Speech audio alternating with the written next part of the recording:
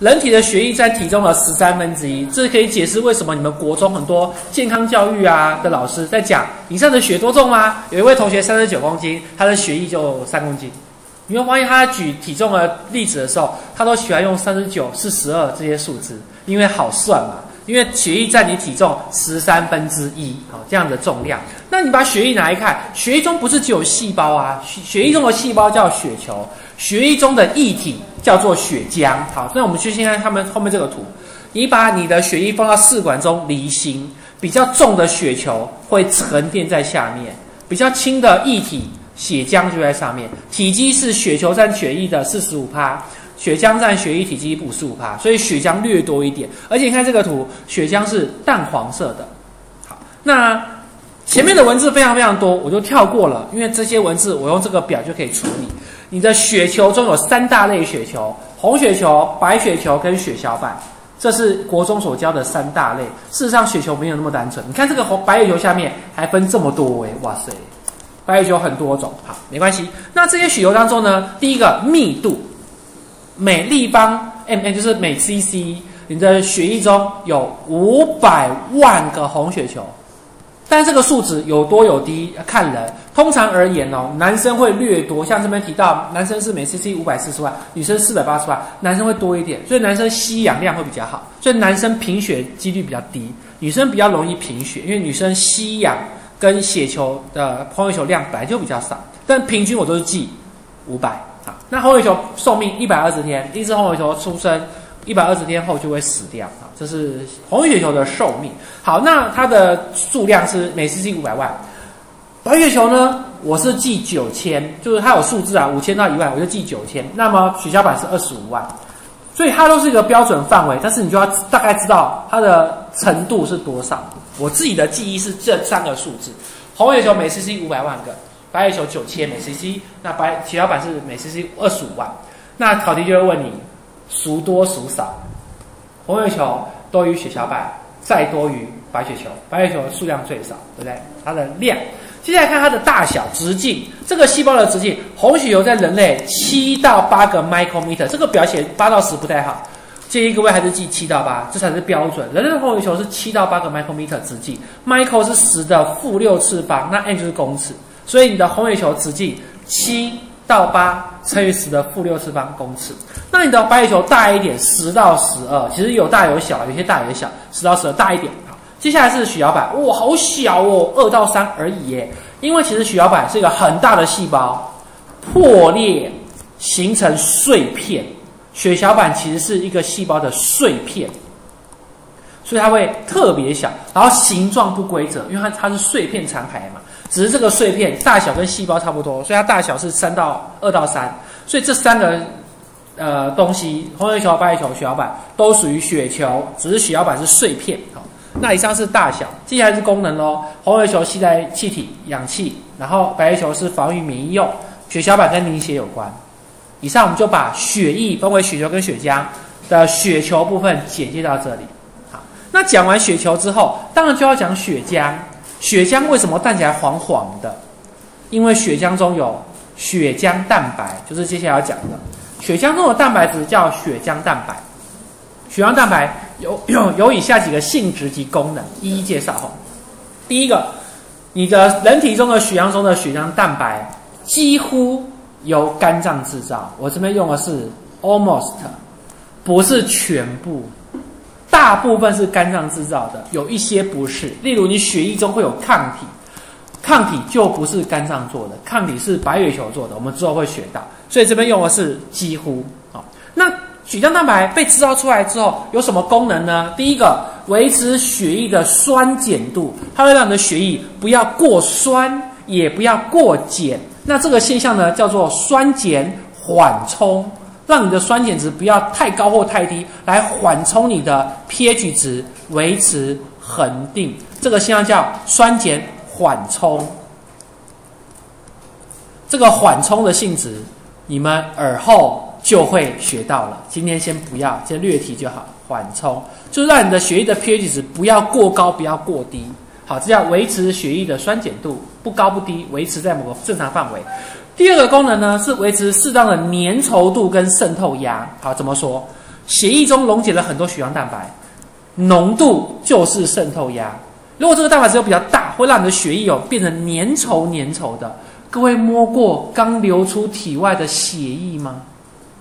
不是啊，我手擦伤了，那个血太少了，是大量涌出的血液。你手去摸，它是温热温热，而且很粘稠的。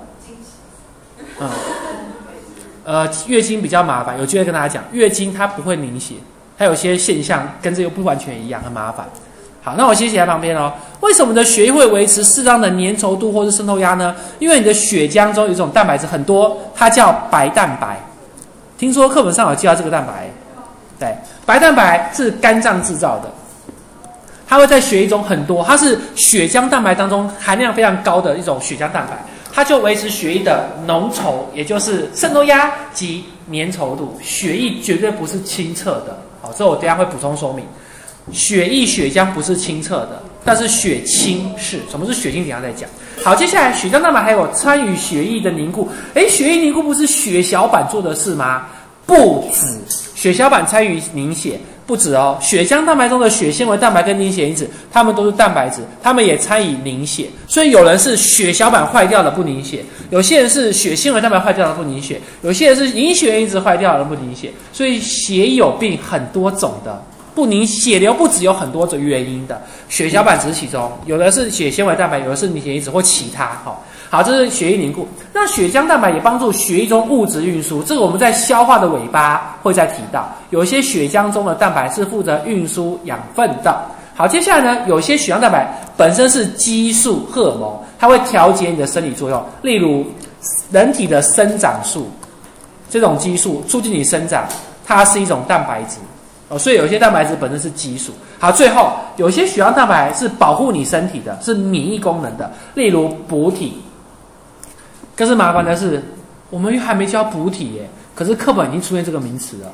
补体我们会在高三生类组才会讲到，所以我这边另外讲另外一个蛋白质也跟免疫有关的，白血球产生的抗体也是蛋白质，也出现在血液中，所以它也是血浆蛋白。好，以上我们就把血浆蛋白常见的功能提到这里。血浆蛋白几乎都是由肝脏制造，有少数不是。然后维持酸碱度啦、渗透压浓度啦、粘稠度啦，来帮助血液凝血、帮助物质运输、帮助形成激素，或者是跟免疫有关。好，这是血浆蛋白的简介。好，血浆蛋白到这里，它属于血浆。血浆蛋白让血浆成为淡黄色。各位有听过另外一个名词叫做血清吗？对，被蛇咬，你要打抗毒蛇血清，因为血清中含抗体，这个抗体就是抗蛇毒蛋白的抗体。好的，那为什么它叫血清呢？那为什么这叫血浆呢？血浆是淡黄色的，各位知道“浆”这个字吗？你们看过豆浆吧？哦，正所谓没有喝过豆浆，也看过豆浆走路。豆浆的触感是不是有点，还是有一点点浓稠，浆浆的？所以血浆因为溶解了很多的血浆蛋白，它还是有点浓稠，可是水就不会浓稠，血清不会浓稠，所以它叫清澈如水，叫血清。那我要怎么产生人类的血清，或是其他动物的血清呢？很简单，你把你的血拿出来之后，放到试管里面，不用离心，离心是为了产生血球跟血浆，你不要离心，你的血液会开始凝血，形成血块。凝血，凝血，凝血，凝血。一凝血呢，就是血小板跟血纤维蛋白跟凝血因子会形成纤维状的纤维，把血球包起来，血浆蛋白缠住，全部凝结成血块。好的，接下来呢，你就把这个试管斜放，流出里面的清澈的液体，这个液体就是血清。为什么它清澈如水？它没有血球了，血球都变成血块里面了。它没有大的血浆蛋白，因为大的血浆蛋白也跟纤维缠在一起形成血块了，所以就等于说，你把血液中大分子跟细胞全部缠成血块，剩下的就会清澈如水，它就是血清。而血清中含抗体，因为抗体是比较小分子的血浆蛋白，抗体的分子比较小，小分子。所以它还会在血清中。可是像刚刚讲的那种白蛋白啊、血纤维蛋白啊、凝血因子啊、物质运输的蛋白，或是你的生长素，全部都缠在一起了。好，只有小蛋白才会进入血清，血清是清澈如水的，那就可以解释它是透明的哦。那为什么血浆是黄黄的？因为血浆蛋白，血浆蛋白让血浆变黄色，也变浓稠。好，以上就补充说明什么叫血清。所以，如果今天你去医院抽血检查，是要检查血浆或者是血球。你的血液会拿去离心，沉淀的是血球，上面的是血浆。但如果今天医护人员要检查是呃是你的血清，它不会离心的，他会把你的血液放着，让它凝血，倒出来的清澈一体就是血清。可是医护人员很忙的，他没有时间等它慢慢凝血，所以在医院中，医检人员怎么加速你的凝血呢？是有办法的。放冰箱就变慢了，它又不是做果冻啊，变冰棒比较快凝血，刚好跟你的策略相反。凝血是有个酵素催化，酵素催化温度越高效率越高，但是不能过头，所以它会把你的血液放在试管中，泡在温水里，四五十度的温水，不能过高，一过高蛋白质变性，你也不凝血了，要加速它的凝血，就会放在呃温水里面，而它那个温水呢是个大机器。里面有很多试管夹，里面有水，水还会流动，然后可以设定温度，然后试管夹、试管、试管架中插了好多试管，让它温温的进行反应。有些试管是凝血用，有些试管可能是进行别的生化反应。当你去医院的医检站看到这样的机器，你就会恍然大悟：这个机器我看过。大家那个机器拿出来，里面放水，放试管架，放很多试管。我们现在换个场景，把里面水倒掉。改放高汤，温度不要五十六十度，放到七八十度。里面不要放试管了，也不要放冷血，冷血不要放试管中，直接放外面。猪血糕、黑轮，我觉得眼熟，这不就是关东煮吗？概念是一样的哦，只是一个是麻辣鸭血，一个是病患冷血啊，不一样。一个可以拿去吃，有调味；一个没有调味，你不能吃，吃了简体就不见了，他搞不好艾滋病了，对不对？好，以上是血浆蛋白跟血清的补充说明，其中血清是我的补充哦，让你们了解这个名词的意思。它是清澈如水，里面还是有抗体，因为抗体是小蛋白，其他的物质为什么不见？因为凝血凝血掉了。